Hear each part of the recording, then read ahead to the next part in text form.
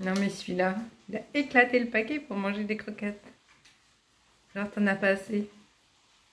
C'est pas pour toi celle-là? Sont bonnes? Elles ont l'air bonnes quand même. Hein Alors achète des croquettes à 10 000, il en veut à 2 balles.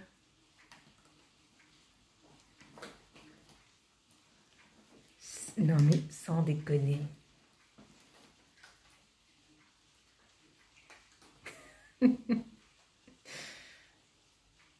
Ça y est?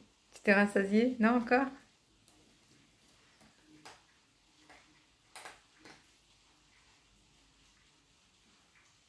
C'est pas pour toi. C'est écrit hein, sur le paquet, délicieux.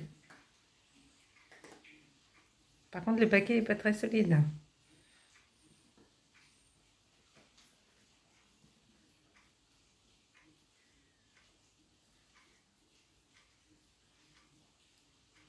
C'est bon?